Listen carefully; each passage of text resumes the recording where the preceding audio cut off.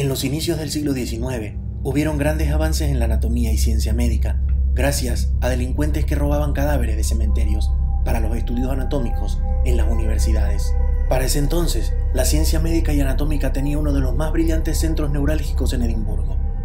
Tradicionalmente, las disecciones humanas con fines educativos y de investigación se habían llevado a cabo gracias a cadáveres procedentes de ejecuciones, muertes en prisión, suicidios o personas sin hogar ni familiares. Hacia el 1820, al despenalizarse de la pena capital multitud de delitos, los cuerpos que procedían de las ejecuciones legales comenzaron a menguar de forma alarmante. Fue entonces el momento en el cual Burke y Hare empezaron su oscura carrera. Antes de comenzar, quisiera hacer un breve recordatorio que nunca está de más, y es el de no olvidarte de calificar el video y también de suscribirte y activar la campana si quieres seguir viendo estos videos en el futuro. Compartirlo con amigos a los que les pueda interesar es buena forma de ayudar al canal y por lo cual estaré muy agradecido.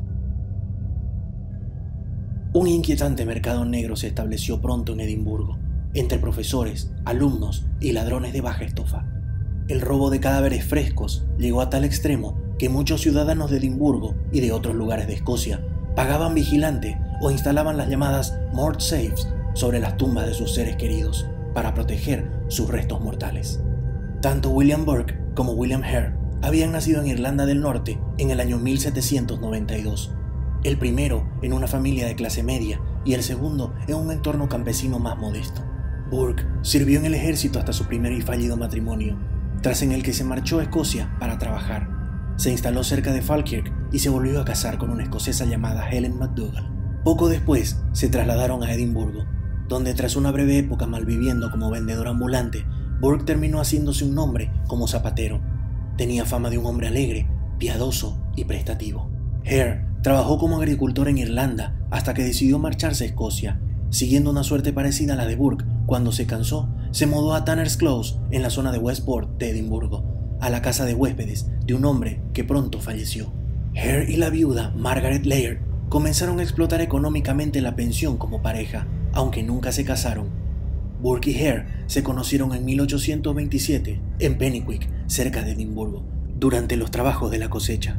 La segunda pareja invitó a la primera a vivir con ellos en su casa de huéspedes y rápidamente los cuatro se ganaron la fama de juerguistas y problemáticos. El 29 de noviembre de 1827, poco tiempo después de que Burke y su esposa se hubieran mudado a la pensión de Hare, uno de los inquilinos murió de hidropesia. El pobre hombre debía dinero del alquiler, así que Burke y Hare decidieron que estaba moralmente justificado vender su cuerpo a la universidad.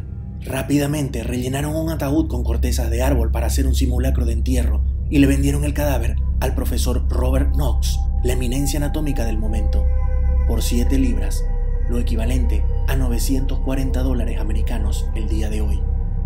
Burke y Hare comprobaron lo fácil que era ganar dinero vendiendo cadáveres y ya no podían quitarse el tema de la cabeza. Probablemente hablaron muchas veces entre susurros de si proceder o no con el siguiente paso. Cuando supieron que un molinero que se alojaba en la pensión sufría fiebres, no tardaron mucho en decidirse. Esta vez, el argumento moral fue que un enfermo de ese tipo alejaba al resto de los clientes y perjudicaba el negocio.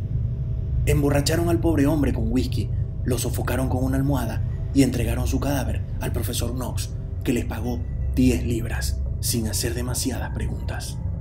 Una vez abierta la veda, los siguientes asesinatos sucedieron con rapidez. Una vendedora de sal a la que emborracharon, una anciana a la que engañaron y embriagaron, y un comerciante que había caído enfermo en la misma pensión. Apenas habían pasado tres o cuatro meses desde la muerte del primer inquilino, pero Burke y Hare ya habían vendido cinco cadáveres a Robert Knox. A partir de entonces, Burke y Hare establecieron un modus operandi fijo para asesinar a sus víctimas. Los engatusaban con mentiras los emborrachaban y finalmente Hare se colocaba por atrás para sofocarlos, haciendo una pinza con su mano sobre la nariz y la boca, mientras que Burke dejaba caer su peso sobre ellos para inmovilizarlo, hasta que morían asfixiados. Una técnica que posteriormente la gente de Edimburgo la denominaría Burking. En abril de 1828, Burke conoció a Mary Patterson y Janet Brown en Canongate. Les invitó un whisky y las llevó a la pensión. Una vez allí, la esposa de Burke se puso violenta al pensar que su marido estaba coqueteando con Janet, quien se fue de la casa de huéspedes avergonzada, mientras la pareja peleaba escandalosamente. Janet, para su suerte, escapó de una muerte segura.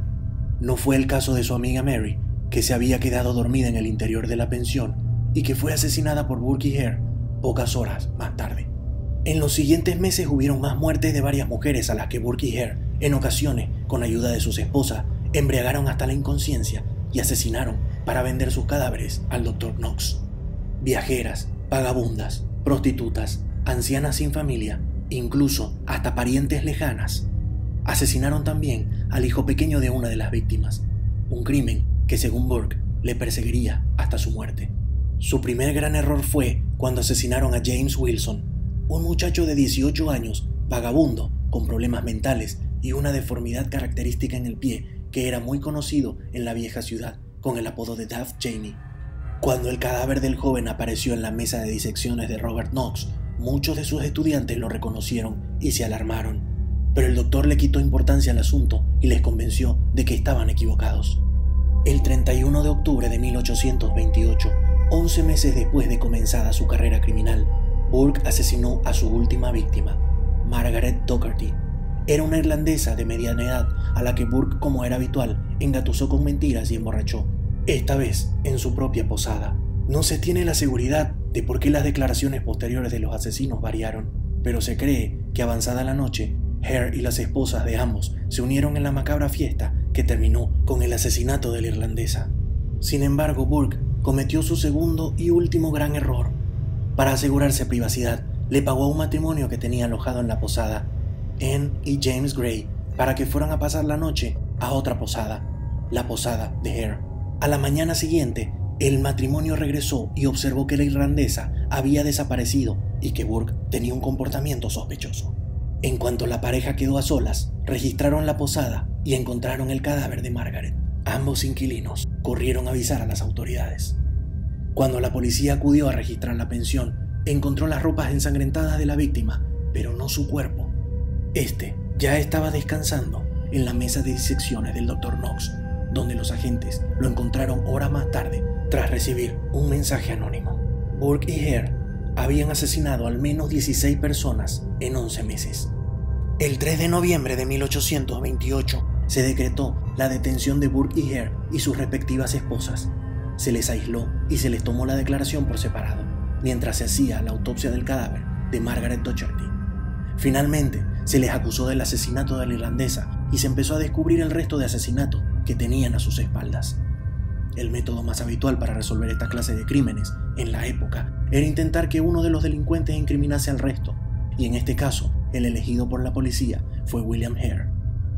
El primero de diciembre se le ofreció inmunidad a cambio de una confesión completa de todos los asesinatos y pruebas fehacientes de ellos. Hare aceptó y él y su esposa quedaron libres de cargos. Tres días más tarde, se acusó oficialmente a William Burke y Helen McDougall de los asesinatos de Margaret Docherty, Mary Patterson y James Wilson. Aunque el doctor John Knox no fue acusado por falta de evidencia, la opinión pública se puso en su contra salvajemente y en los periódicos y las calles se le acusaba de haber inducido a Burke y Hare a cometer sus crímenes a cambio de generosas sumas de dinero. Una de las muchas rimas populares de la época en Edimburgo decía así. Up the close and down the stair, in the house with Burke and Hare. Burke's the butcher, Hare's the thief, Knox the man who buys the beef. Burke and Hare, they were a pair, killed a wife and didn't care. Then they put her in a box and sent her off to Dr. Knox. Burke's the butcher, Hare's the thief. Knox is the inn that buys the beef. El juicio contra Burke y McDougall tuvo lugar el 25 de diciembre de 1828 a las 8.45 de la mañana. El jurado determinó que Burke era culpable. Los cargos en contra de su esposa no pudieron ser probados. William Burke fue sentenciado a morir ahorcado y cuando el juez David Boyle se dirigió a él para leerle la sentencia, declaró que su cuerpo sería diseccionado públicamente, su esqueleto conservado y expuesto como acción ejemplarizante. La ejecución de Burke tuvo lugar el 28 de enero de 1829 en Lawn Market, cerca del Royal Mile, frente a un público de 25.000 personas. Margaret McDougall, su esposa, estuvo a punto de ser linchada por una multitud furiosa en las calles de Edimburgo y abandonó la ciudad para nunca más volver. Margaret Laird, la esposa de Hare, también se marchó de Edimburgo y casi fue linchada cuando esperaba subir un barco con destino a Belfast. William Hare fue liberado una semana después de la ejecución de Burke y abandonó Edimburgo disfrazado y escondido en un carro del correo. Fue, sin embargo, reconocido en Dumfries y también estuvo a punto de ser linchado por la población. La policía lo escoltó en dirección a la frontera con Inglaterra y nunca más se volvió a saber de él, aunque se rumorea que había terminado sus días ciego y vagabundeando por las calles de Londres. Al doctor Robert Knox, la opinión pública lo sometió a burlas y caricaturas. Incluso un grupo de personas se congregó una noche ante su casa y quemó su efigie. Fue apartado de la enseñanza y la investigación, fue completamente excluido de la vida académica por sus pares. Abandonaría Edimburgo en 1842 para nunca volver. En 1832 se dictó la Anatomy Act, que limitaba únicamente a los cadáveres no reclamados de cuerpos humanos para utilizar en disecciones. La era de los ladrones de cuerpo y de asesinos como Burke y Hare había terminado. Hoy en día, se puede ver el esqueleto de William Burke en el Anatomical Museum de Edimburgo y en el Surgeons Hall Museum se puede ver un libro que tiene fragmentos escritos con la sangre de Burke y además está forrado con la piel procedente de su disección.